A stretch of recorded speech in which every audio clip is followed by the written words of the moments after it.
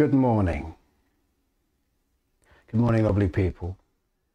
I hope you're doing fantastically wherever you are on this lovely planet. Um, and welcome. I, am Marc J Acquaviva, and I would like to welcome you to your Yoga Solutions Live on this um, uh, nice day, uh, th- uh, Tuesday, 3rd of August, 2021.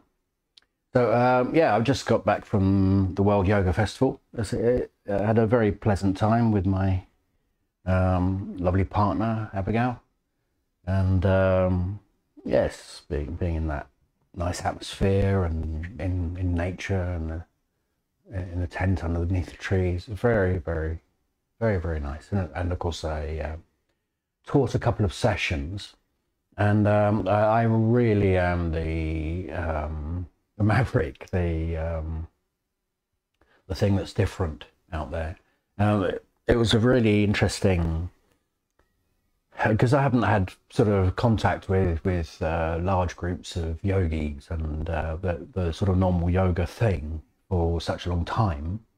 Um, immersing in it again was uh, yes, it's quite it's quite astounding. It, it reminded me of how different the way I look at things is. And um, yes, and uh, all sorts of uh, notions came to me over over the time. I was trying to kind of work out because you know when you have um, when you stumble on something, it makes answers to yoga practice that the answers to um, body difficulty. Uh, when you have a practice that gives you answers that work, it's it's um, it's very hard to reconcile why it is so confu- why it can be so confusing for people that are that come from a different background. Because I, I'm I'm not I'm not talking about hidden yoga mysteries that you have to learn and and um, no, only the only the secret few, only the elite few know about it. It's it's not like that. It's uh, the thing I talk about is is real world stuff, as in uh, how you relate to the earth, um, gives you, gives your body gives you the, the experience, uh, the somatic experience of what support feels like. Um, how you relate to space determines whether you have to carry your weight with your spine or not.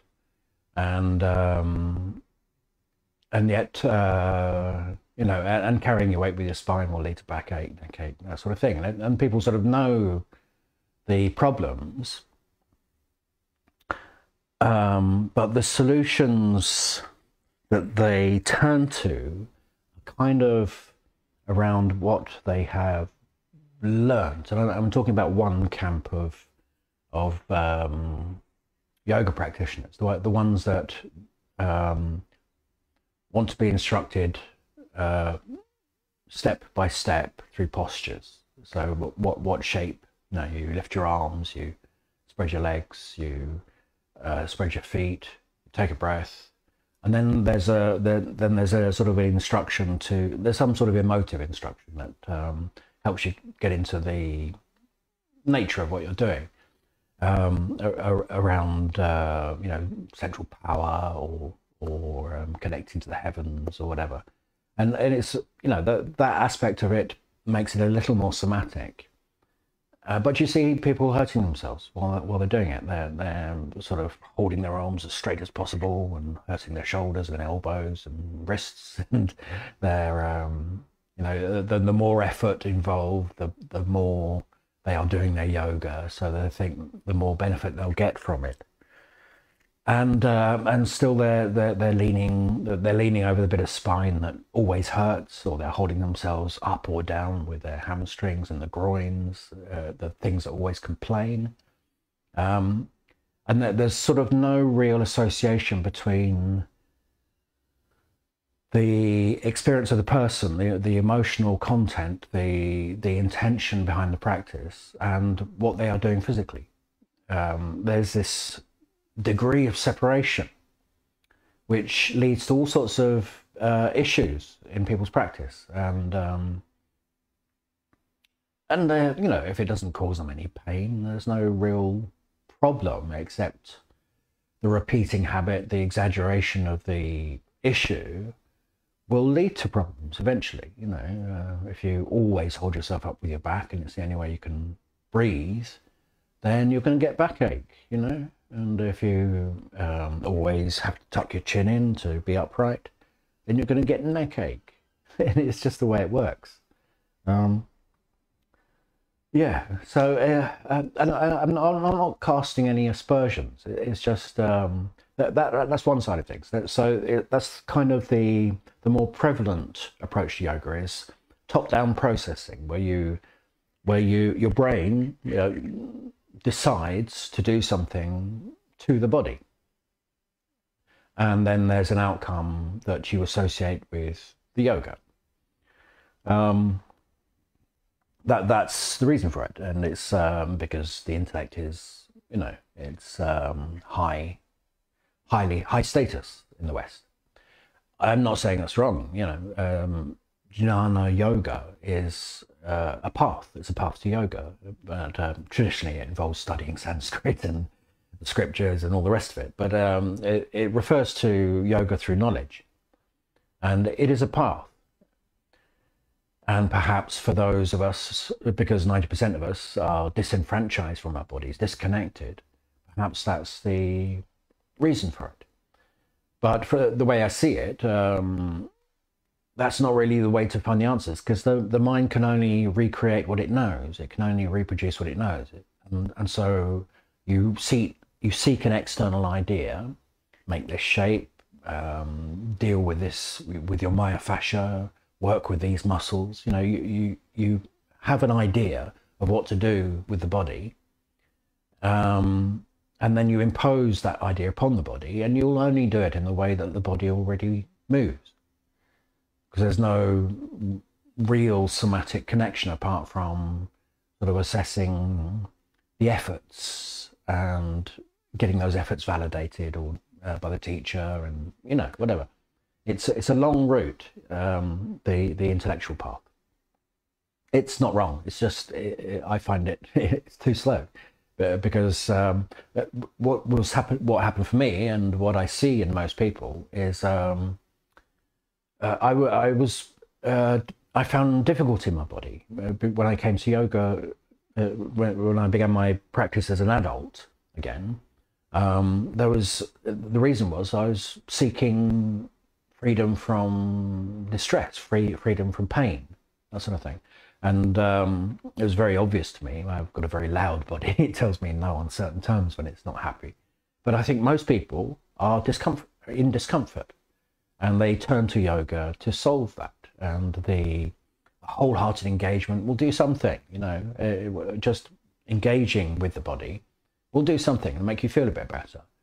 But when there's when issues arise from it, then then if you're going to use the mind, you need to use the mind to work it out, to to make it better, not um, impose external ideas on what should make it better, but practice until you can make it better. And that takes you into the other camp. The other camp of yoga the, the, are the somatic experiences, the, the people that want to dance, and uh, that was something else I witnessed. Is on the on the music night, uh, those same people that were um, holding themselves stiff and giving giving themselves joint problems to do yoga were free in their bodies. They, they were freely expressing with their bodies through their bodies, not really thinking about it. They were responding to the music, but again, because there wasn't presence of mind, they were expressing in the way that their bodies already express. So there was a there was a baseline intent with the dancing to the music and other forms of yoga. There are celebratory forms of yoga that not too fussed about details and alignment and all the rest of it, and it's more about your somatic experience. And there's a sort of mindlessness in that you're purely following how the body seems to want to express itself. It, it's still the person, it's still the personality doing it. So they still they will still be lifting themselves with their lower back when they want to be up. You know, if that if that's how they do it normally anyway. So they'll dance and they'll feel great, but they'll come away and they'll have a bit of backache again in the morning, or knee pain, or whatever it is that they're carrying around. And then there's um, there's yeah there's the people that are genuinely on the yoga path from the learning kind of perspective where they've they're, they're learning about the Vedanta and they understand yoga from a philosophical perspective. These, by the way, seem to be the most comfortable in them, the people that are most comfortable in themselves. Although their bodies were probably in pain here and there, it's just they, as people, weren't that bothered by it because they were um, sort of happy in their souls a little more because they had a broader more connected to the divine experience of life. But they were they were missing the, the both the wholehearted ability to throw themselves around to music and they saw no value in making shapes because it, it's nonsense. It's um, you know in in the the within the the scope of what yoga is, the the asana is just dealing with the body, and the body is not who I am. You know, it's um, I am consciousness, experiencing life, and my job is to elevate my consciousness to a degree of permanent bliss. You know. So um, yeah, it was interesting. It, it, people are divided into camps, and and um, and because of that, there is it's sort of a there's a blinkered there's a blinkered thing around all other aspects of being in your body, and um, what I like, what I think I like to offer, it, you know, I, I didn't build my offerings around being aware of these separations. I, um, it's just I, am I just do my yoga to see what works, see what I can help work. You know, see see if what I can uh, the way I'm approaching my physical practice helps me feel great in my body, and I want it to be something I take into my daily life. I want it to so, so that I can feel as good as I do when I'm dancing when I'm walking down the road and I want to have meaning behind my physical practice as well. I want to find the meaning, the, the broader ramifications of what these ideas of kindness and, and support and freedom mean uh, in practical terms so that I so that my mind can learn on can my my mind can be guided in a direction towards that never ending state of bliss in that general direction. It, and, that part is working. I'm getting so much happier as I get older. I'm getting so much fitter as I get older, so much more relaxed in my body and strong. And um, yes, so uh, I, I, I think simply by sort of pointing yourself towards the thing that resonates with you um, it's, it's a it's the starting point. It's the place to go. But you know, one of the things I, I listened to, uh, I heard in uh, in one of the talks. It was by um, the man that runs the thing. He's, he's a he's a lovely man, and he's um, he's of one of the schools of Vedanta, one of the unusual ones that talk about non-duality, and I, and everything he was talking about totally resonated with me, and it was um, no, what, I lost my thread. What, what was I? What was it I noticed? It was um, yes, it was it was around yeah, it was around non-duality.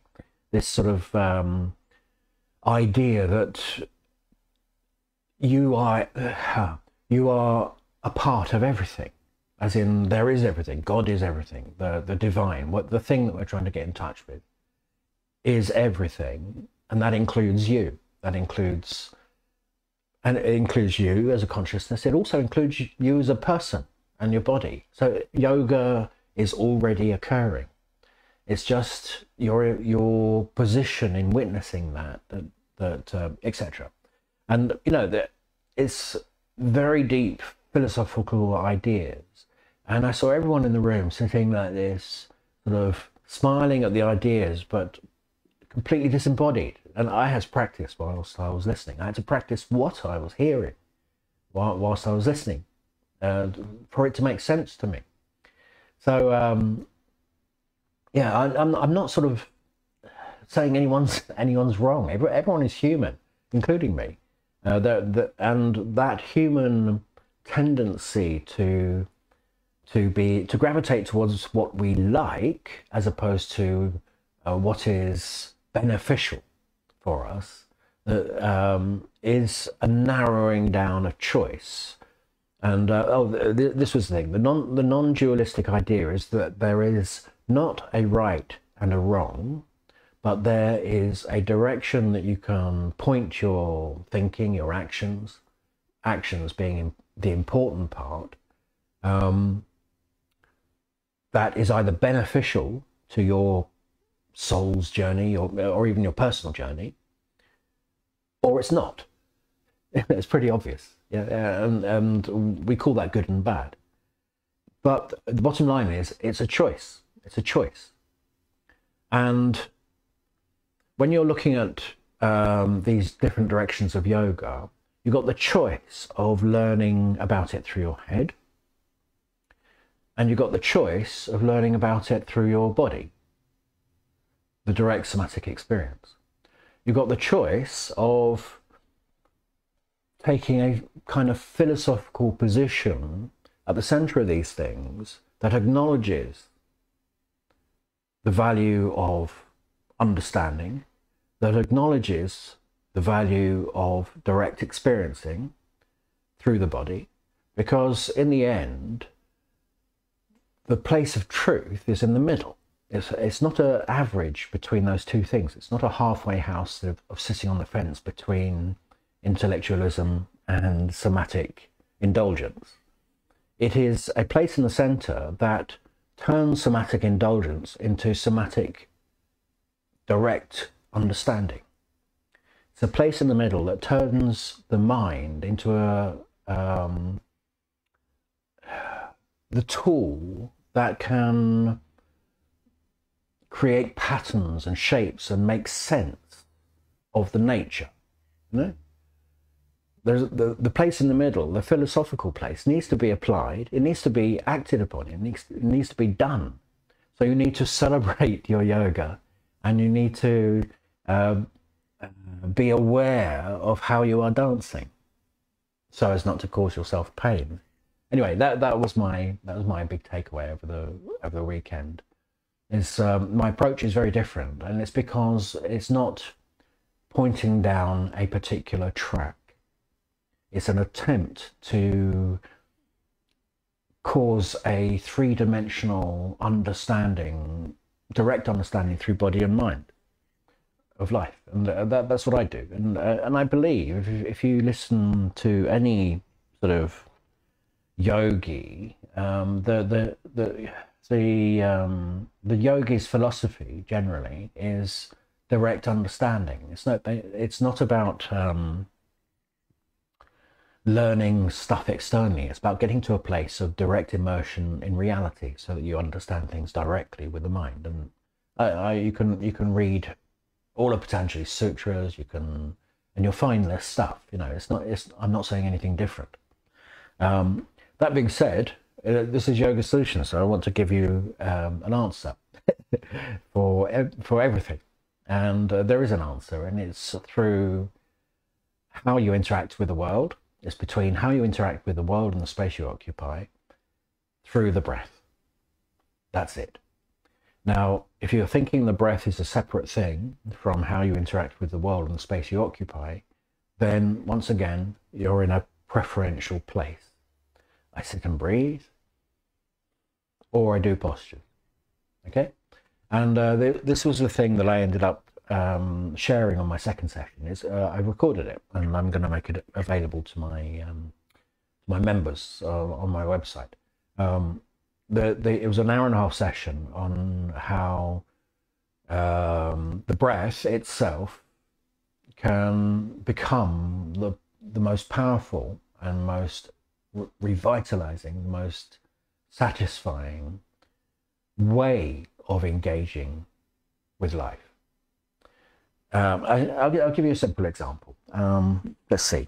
If, if um, you want to lie down with me, we've done this many times before, or, or I have anyway. And if you've seen me, you probably um, tried this out yourself. And you organize yourself so you can have, or so that you can interact with the world beneath you, with each heavy heavy structure that you that um, you've got. So you want to be able to, the whole body wants to be able to use the head for support, the head on the ground. So you, you find a way of engaging with the ground underneath the head. Okay, that's one thing you need. You need to be able to support yourself with your wings. So um, if you sort of roll your shoulder into the ground on one side, it will roll the body away from it. It will roll the ribs away from it. Try the other side. So you're, supporting yourself with your wings. You could try doing both of those things. The shoulders, both shoulders and the head. Okay, and that's you supporting yourself. You might find yourself pressing down through your feet as well. So you're engaging with the world to look for support. If you wanted to pick your feet up, you would press down through the pelvis. You see? That's part one. That's the action. The action is engaging with the world to find support. So if you now make all those structures get involved with your contact. Um, the whole body presses through the spine, uh, presses through the head to find support from the head. Shoulders can join in with the ground. The feet can join in. And the pelvis can join in in its own fashion. And it's very difficult to do more than one thing at a time with a thinking mind. So if you can take yourself into all points of contact so that you are no longer different parts. It's you as a whole, touching the earth, engaging with it, but in order to breathe. So the action of engaging with the earth is the breath. You'll find the, the effort uh, changes what goes on on the inside. The effort of engaging with the world to breathe as opposed to lifting yourself, will cause things like the belly muscles to work, will cause the rib cage to work. What you need to do is you need to relax the, the root, the pelvic floor, as you engage with the earth. To breathe. And that should feel like a, a wholehearted celebratory breath, akin to a yawn and a stretch, that style of thing then if you if you are engaging with the earth, it's the arriving breath that is doing it. You don't really need to continue to individually work those things into the ground. So if you can breathe into the ground, yes, the whole body is involved with that, but it's the breath that is pressing you into the ground. And if you do it so that the so that it's the feet, the upper back, and the uh, sorry, the shoulders and the head more than anything else, in that moment the pelvis will become light because it does. As you breathe. Now the next job is to let go, but we think of letting go as letting go, letting go towards the ground, so you'd normally drop. But if you let go towards where you where you're touching the ground at this moment, which is the feet, the head, and the shoulders, having cause and active breath, that is doing the support. When you let go of the breath, it's an in, inner release. You let go within yourself, within your belly, within your heart, within your lungs, within your ribs. You let go within yourself, but give yourself to your touch. So you'll find your feet waking up, you'll find your contact as the source of support as you let go within. The spine won't have to carry your weight, the core and the ribs will be responding to the release of the breath. So everything you need in terms of support in this position is first of all because you breathe. So once again, let go of holding as you breathe through your feet, as you embrace the earth through head and shoulders from the breath. So the arriving breath is because you drop into your feet, your head and your shoulders. It's the breath that's supporting you from within. You don't have to push and pull with your legs.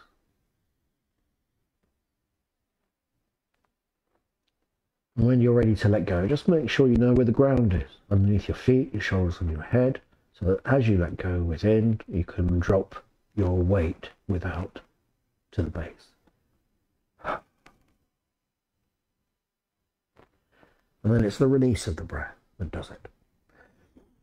Doesn't mean there's um, no effort, but uh, in in the legs and things, but it's not um, tension it's the body breathing, the whole body breathing. Uh, a more obvious, have I got time? Yes, just about. I've got a minute. Uh, a more obvious experience of the breath is the thing that's meant to support you.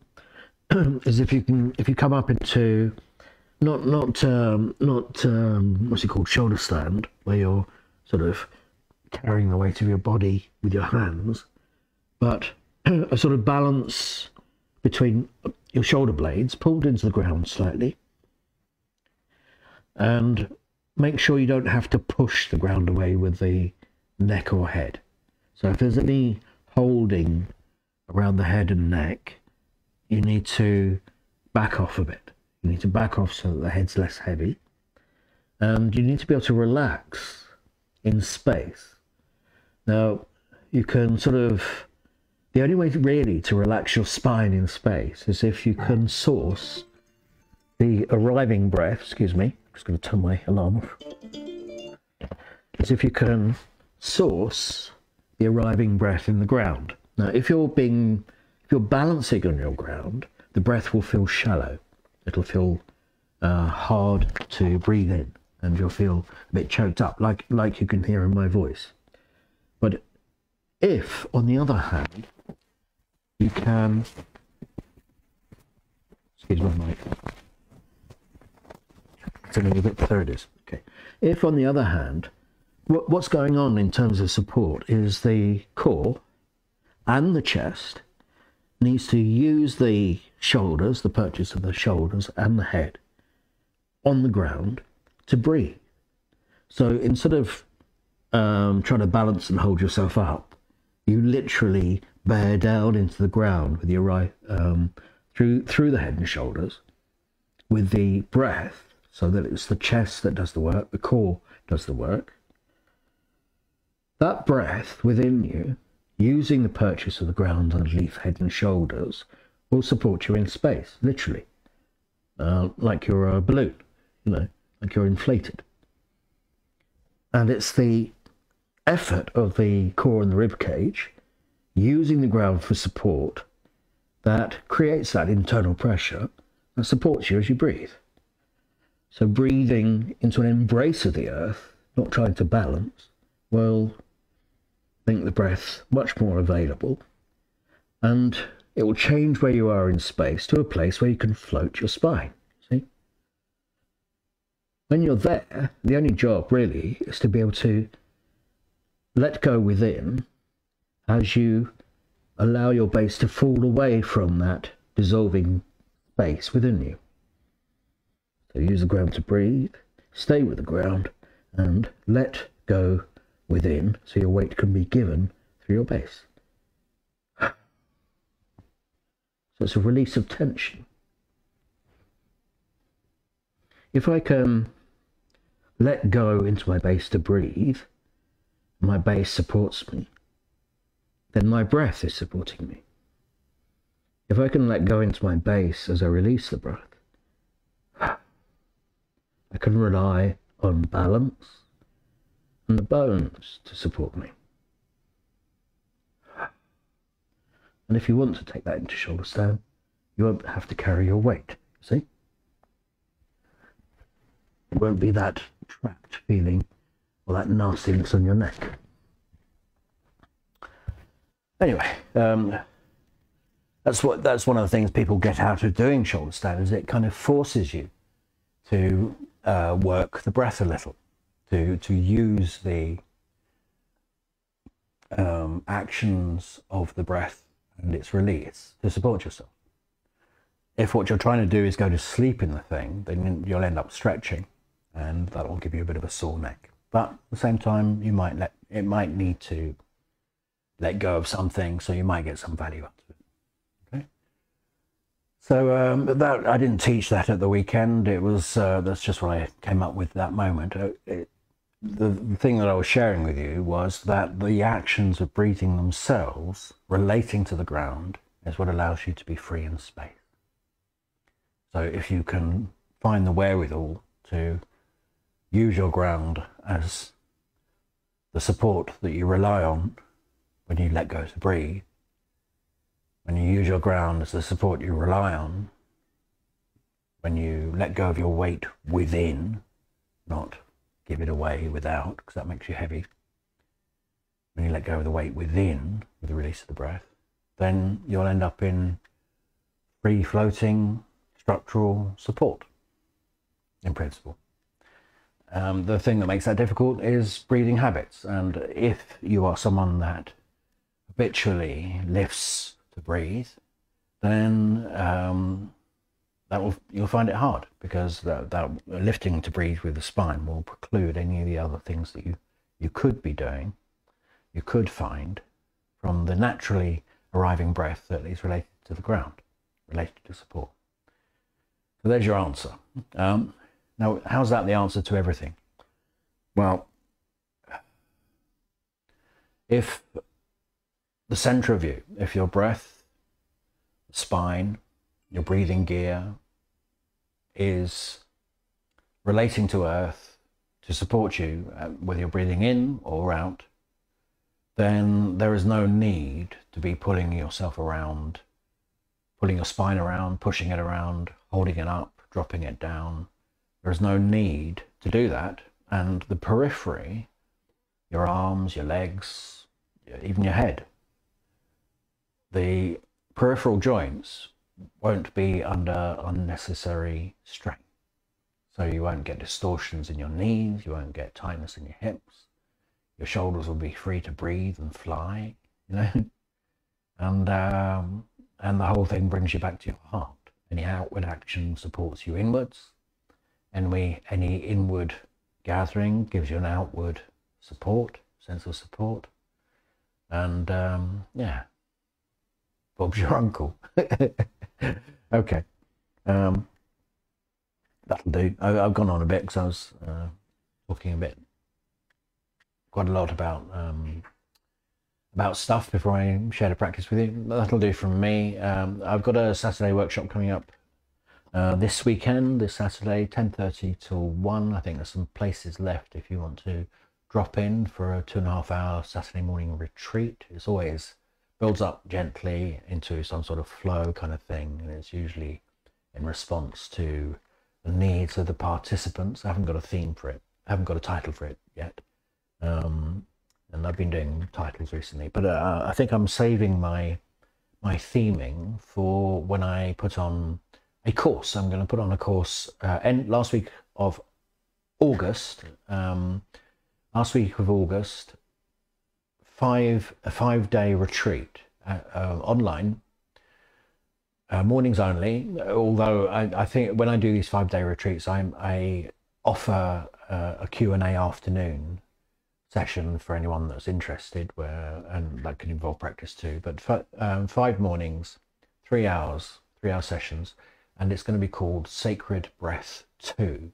It's um, a deep dive into the various areas of breathing and how and pranayamas that can awaken those responses, what we can do to just get it going, and then some practices where we put it into use uh, in, in movement and postures and life.